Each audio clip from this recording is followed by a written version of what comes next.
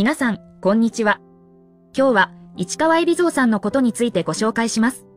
まずは、市川海老蔵さんの経歴とプロフィールからご紹介します。市川海老蔵さんは、1977年12月6日生まれ、東京都のご出身です。市川さんは、お父さんの12代目市川團十郎さんと、お母さんの紀美子さんとの間に待望の長男として誕生すると、2000年23歳の時には、尾上菊之助さん、二代目尾上達之助さんと共に平成の三之助と呼ばれ、歌舞伎ブームを巻き起こします。さらに、2003年には、武蔵武蔵で、主役の宮本武蔵役を演じられるなど、テレビドラマにも出演。また、歌舞伎役者としては、海外公演も行われ、2007年、お父さんの市川團十郎さんと共に、パリのオペラ座での初歌舞伎公演で絶賛を浴び、大成功を収めています。以降、歌舞伎の公演、映画テレビドラマ出演と、幅広く活動されています。市川さんは、2010年3月、フリーキャスターだった小林真央さんと、結婚されています。お二人の出会いは、2006年、ニュース番組、ニュースゼロで、ゲストとして出演された市川さんに、小林さんがインタビューしたことがきっかけだったそうです。その後、小林さんが市川さんの舞台を見に行かれたり、食事デートなどで親交を深められ、お二人はめでたくゴールイン。2011年には、女の子、麗華ちゃん。2013年には、男の子、菅玄君が誕生しています。市川さんは、ブログで、奥さんのこと、ご家族のことを、数多く綴っておられ、結婚後も奥さんと仲睦まじいことがわかります。悲しいことに、小林真央さんは2017年6月22日、乳がんのため、自宅で死去されています。実は、市川さんには小林さんとの他に、以前、交際していた女性との間に、お子さんが一人いらっしゃるというのです。その女性は、1990年代に歌手や CM モデルなどの活動をされていた、日置明子さんという方で、市川さんは1995年、高校生の時に、日置さんとグループ交際をしており、高校卒業後に交際に発展。そして、交際から6年後の2001年、日置さんの妊娠が明らかとなったのでした。妊娠を告げられると、市川さんは、日置さんに、結婚は考えられませんが、認知はします、と言われたそうで、その翌年の2002年、結婚しないまま、日置さんは女の子を出産しています。それ以来、市川さんは、日置さんと娘さんに、毎月十数万、百万円とも言われていますの生活費を仕送りされているとともに交流も持たれていたようです。ただ、近年は小林さんとの交際や結婚で疎遠になっていたとのこと。しかし、小林さんとの間にお子さんができたことで、ご自分のもう一人の娘にも思いを馳せ、交流を再開されたそうで、娘さんがバレエを始めると応援し、進路相談にも真剣にアドバイスをするなど、父親としての責任を果たされているようです。結婚してから約4年間エビゾーのせいで生き地獄でした。いくら甘すぎる私でも許すわけにはいきません。条件を提示し、許すかどうかとなるでしょう。去年3月30日、ブログで義弟市川海老蔵への憤りを綴った小林麻也さん。麻也さんは、元で生体師の国光明氏と離婚したのは、2021年4月だと明かしていました。海老蔵さんからは、離婚したことは発表しない方がいいと、アドバイスを受けたようです。ですが、海老蔵さんが同年10月に投稿したブログによって、マヤさんは離婚が示唆されてしまったと認識しているそうです。そのため、海老蔵さんのファンから誹謗中傷を受けたと訴えていました。マヤさんはそのことに加え、海老蔵さんに関する出来事を次々と告発。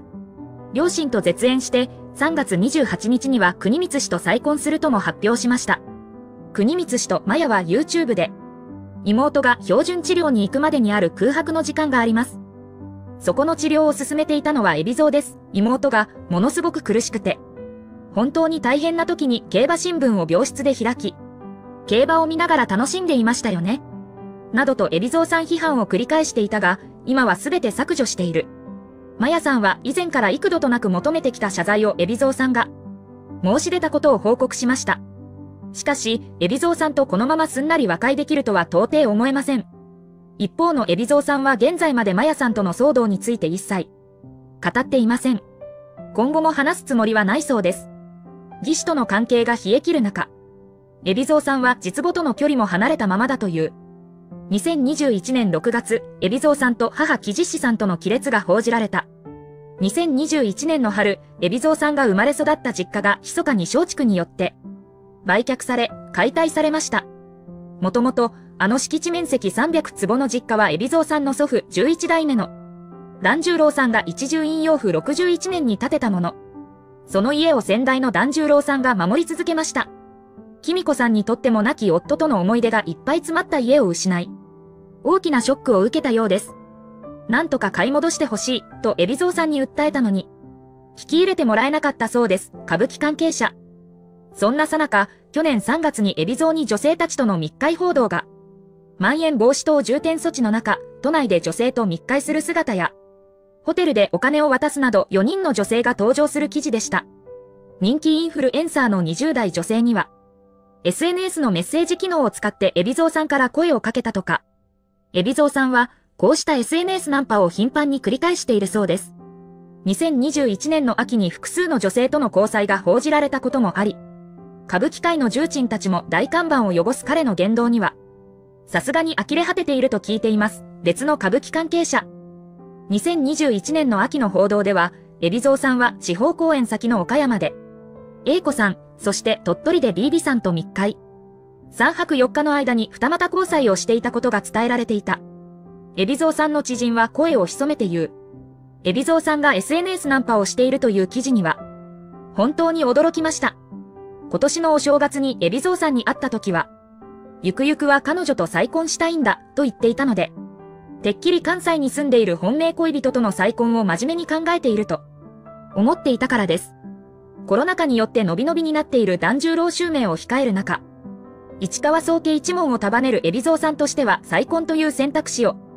現実的に考えていたようだ。しかし、海老蔵さん曰く、霊下の壁が、と、娘さんがまだ再婚を受け入れられないような口ぶりでしたので、もう少し時間がかかるのかなと感じていたんです。そこに SNS ナンパの報道が出たので心配になって、海老蔵さんの友人に連絡したところ、